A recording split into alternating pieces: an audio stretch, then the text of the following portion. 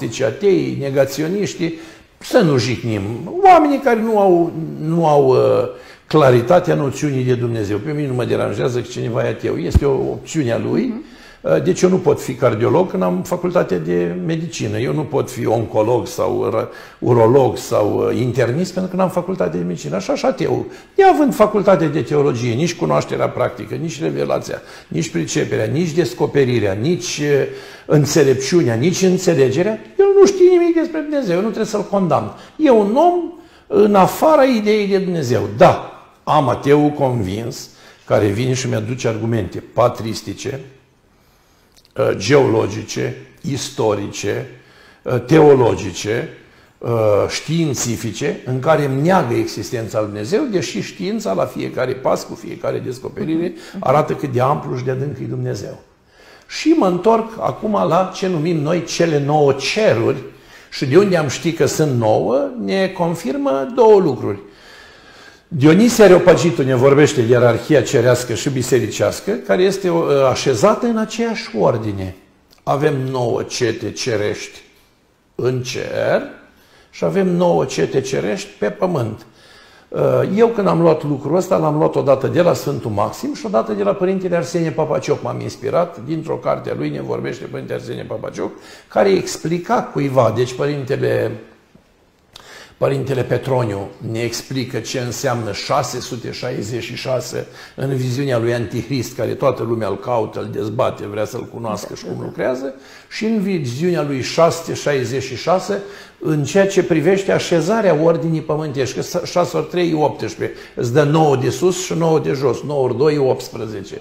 Și ne arată așa, că în ierarhia pământească de jos avem ierarhia superioară, cum ar fi heruvimii, serafimii și tronurile. Arhereu, preotul și diaconul.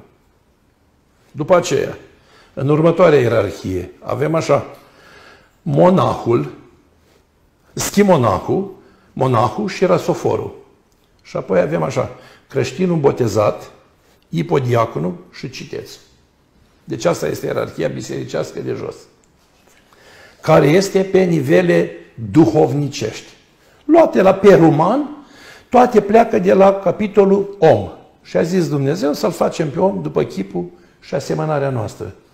Arhereu, care este cel mai înalt grad, purtător de Duh Sfânt prin punerea mâinilor apostolilor și conform epistolelor lui Pavel, ne arată clar pe unde au trecut apostoli, au întemeiat biserică, au hirotonit preoți și episcop și au făcut, uh, au făcut altar de slujbă și au semănat dreapta credință, și apoi, în rândurile de jos, creștinismul a evoluat în raport de dorul de Dumnezeu.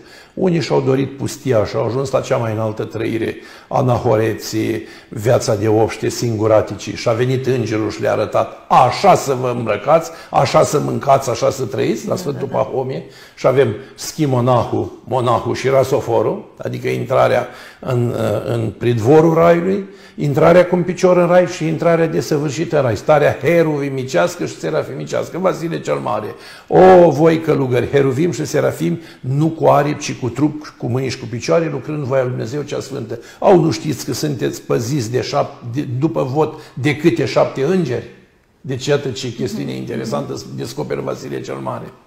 Și apoi, intrând în partea de jos a creștinului obișnuit, care trăiește în, în societate, îl avem pe cel ce dorește să fie creștin bun și primește dumnezeescul botez și rămâne doar pe atât, el se căsătorește, trăiește, muncește, formează comunitatea, satul, comuna, orașul și se sfârșește prin odihna la chimitirion, în dormitorul sfinților, îi spunem așa. Asta înseamnă cimitir, nu-i spaimă, nu-i nimic.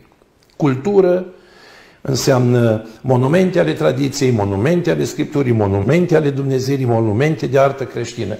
Pe fiecare cruce unde vedem scris, ai fost o floare și te-ai dus și lacrimi în curg și tu ai rămas vestejit, niciodată n-ai mai înflorit. Aia e o chestiune creștină care intră în arta și în cultura uh, creștină care leagă legătura omului cu viața și cu moartea. Deci chiar dacă sunt simple propoziții, da, simple da, da. fraze, că din scriptură, că dintr-o inspirație poetică, se numesc monumente ale tradiției. Ele nu trebuie negate. Ăsta este nivelul de trăire superior a omului care a trecut prin viață. Sau cum spune altă parte, călător oprește spasul și te îndreaptă către mine, că ce am fost eu astăzi, tu vei fi mâine. Ce sunt eu astăzi, tu vei fi mâine. Sau și eu am fost ca tine. Chestii Da, din da, astea. da, da, da. Deci filozofia morții spune de fapt Euvu că îl întreabă pe Sfântul Vasile cel Mare, o Vasile, care e cea mai mare filozofie sub soare?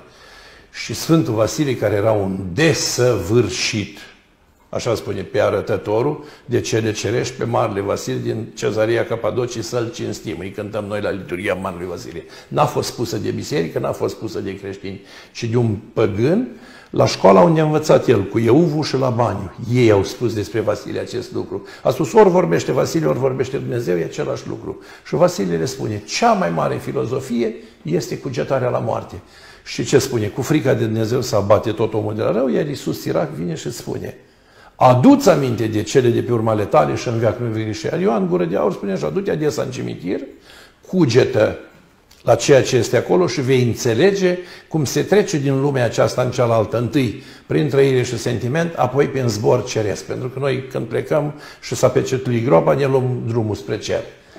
Întorcându-mă la ceata cea mai de jos, creștinul, el poate să devină citeț, adică iubitor de Dumnezeu și de rugăciune, sau ipodiacon, un fel de slujitor al altarului mai mic, cum ar fi, să spunem în casă, badanta, spălătoreasa, bucătăreasa, administratorul. Deci îi face parte din lucrările uh, administrative ale Da, da, bisericii, dar sunt primele trepte. Și așa spune că aici ar fi nouă, iar în cer nouă.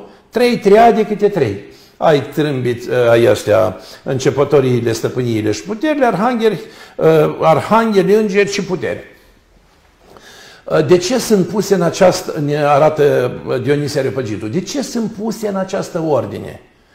De la cea superioară și până la cea inferioară, nu există nicio ordinațiune de ordin numeric. De exemplu, eu când spun ceata întâi și ceata nouă, Da, da, da.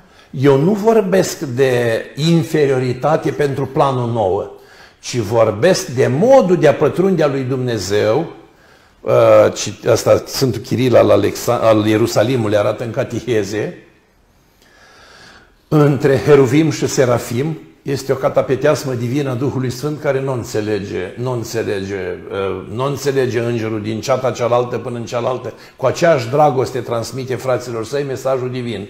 Între celălalt și celălalt mai jos spre tronuri, altă catapeteasmă divină, alte rațiuni dumnezești, alte frumuseți dumnezești, alte descoperiri cerești care se transmit cu aceeași lumină și mai jos. Și tot așa până la ceata de jos. Deci cuvântul nu ajunge cu nimic modificat din ceata întâia până în ceata noua, dragostea și puterea dumnezească este aceeași, egalitatea de trăire și simțire și bucurie este aceeași, numai că spune fiecare în rândul cetei sale. Suișuri a pus în inima sa din putere în putere. Deci fiecare putere slujește pe Dumnezeu, dar slujește cu un scop. Îngerii sunt îngeri păzitori care au treaba lor și păzesc oamenii, Apoi încep puterile care păzesc popoarele să nu-și spargă capetele între ele. Uite, acum puterile s-au retras un pic, că vedeți, pu- să bat popoarele între ele.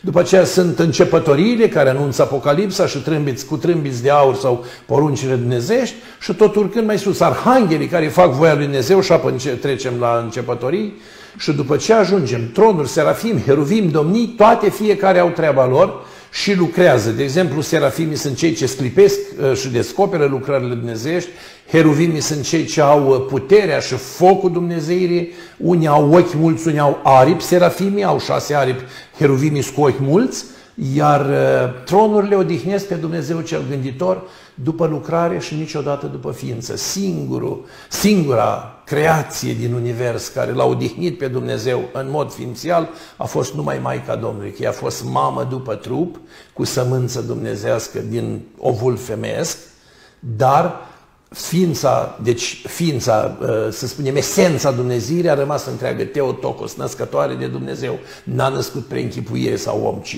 om adevărat și Dumnezeu adevărat.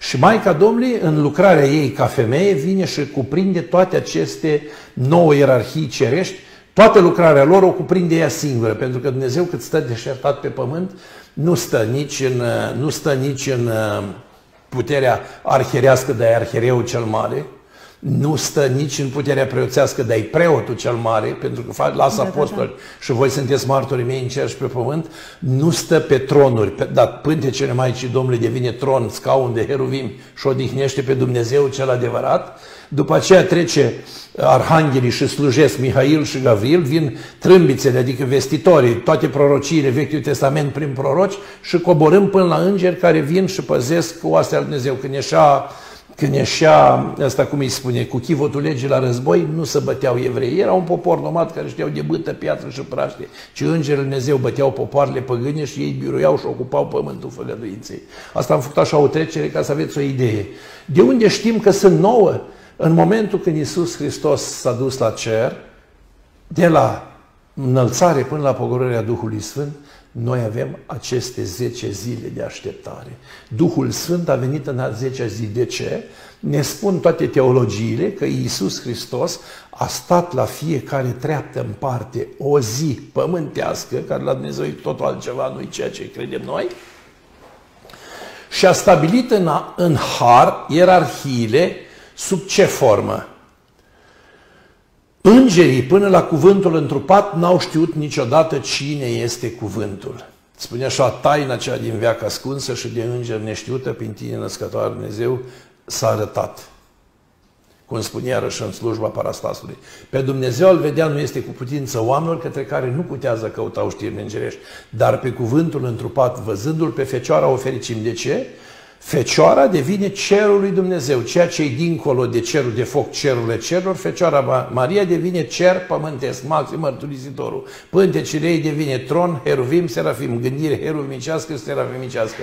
Iată roaba Domnului să-mi fie bă, cuvântul tău. Cuvântul fie îl găsim la Maica Domnului folosit în restaurarea lumii, să-mi fie mie după cuvântul tău, adică împlinește, Doamne, și în cartea referatului biblic la face, la fel spune, să fie lumină, să fie pământ, să fie ape, să fie uscat, să fie păsări, să fie dobitoace, să fie ierburi, semințe, pom și să oprește. Să-l facem de acum. Să-l facem. Pe om după chipul și asemănarea noastră. Deci